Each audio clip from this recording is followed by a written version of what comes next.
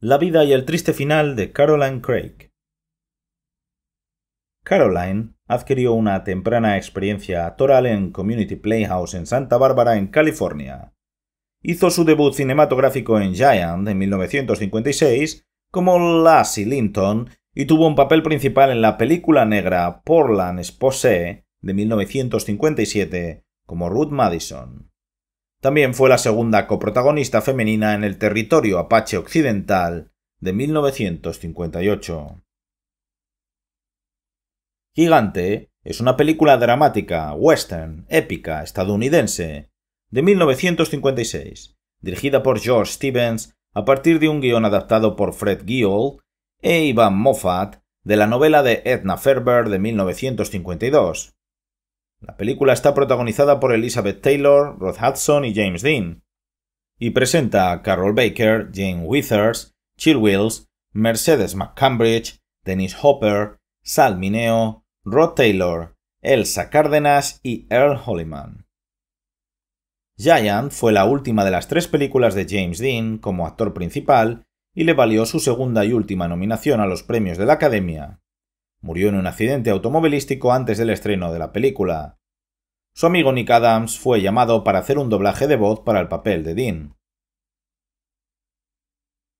Portland Exposé es una película de cine negro estadounidense de 1957, dirigida por Harold Schuster y protagonizada por Edward Beans y Caroline Craig. La trama sigue al dueño de una taberna en Portland, en Oregón, que está involucrado en una lucha por el poder entre dos pandillas que intentan controlar los sindicatos.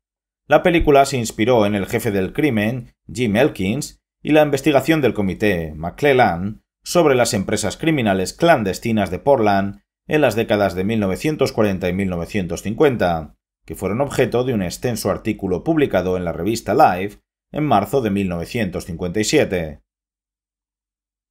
Territorio Apache es una película del oeste estadounidense de 1958, dirigida por Ray Nazarro y producida y protagonizada por Rory Calhoun.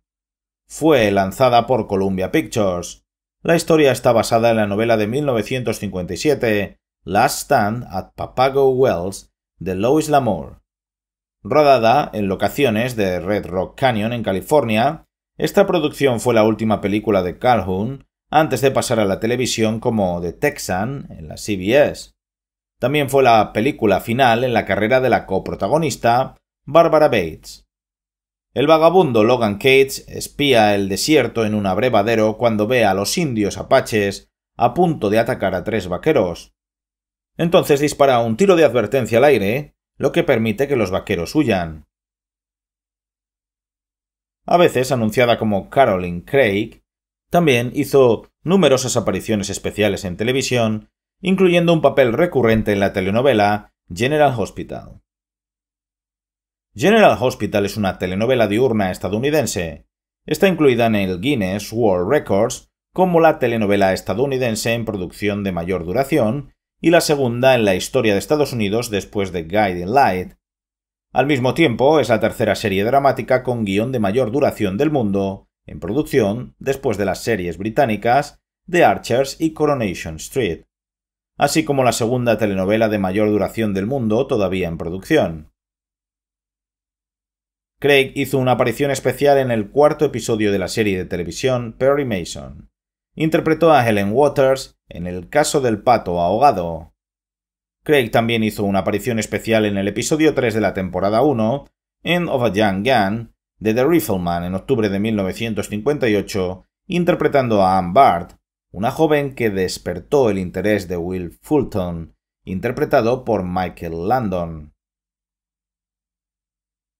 Perry Mason es una serie de drama legal estadounidense transmitida originalmente por la televisión CBS desde el 21 de septiembre de 1957 hasta el 22 de mayo de 1966. El personaje principal interpretado por Raymond Burr es un abogado defensor penal de Los Ángeles que apareció originalmente en la ficción detectivesca de Early Stanley, El jardinero. Muchos episodios se basan en historias escritas por Garner. Perry Mason fue una de las primeras series semanales de una hora de Hollywood filmadas para televisión y sigue siendo una de las series de televisión de temática legal más exitosas y de mayor duración. The Rifleman es un programa de televisión del oeste estadounidense protagonizado por Chuck Connors como el ranchero Lucas McCain y Johnny Crawford como su hijo Mark McCain. Fue ambientada en la década de 1880 en la ciudad ficticia de North Fork, en el territorio de Nuevo México. El programa fue filmado en blanco y negro en episodios de media hora. El 8 de abril de 1958, Craig fue elegido como Edna Granger, una mujer joven con un interés romántico no correspondido en el diputado Marshall Wyatt Earp, en la serie western The Life and Legend of Wyatt Earp. El 9 de abril de 1962, Craig participó en el episodio The Fortune Hunter de la serie western Laramie en el papel de Kitty McCallan. Caroline Craig en 1957 se casó con Charles E. Graham y en 1959 dio a luz a su hijo. Después de divorciarse de Graham en 1961, se casó con Arthur Francis Bryden, unión que duró hasta abril de 1970.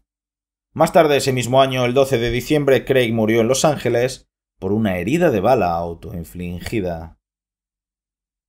Muchas gracias por escuchar la historia de la vida de Caroline Craig. Les deseo a todos buena salud y felicidad, y nos vemos en los próximos vídeos.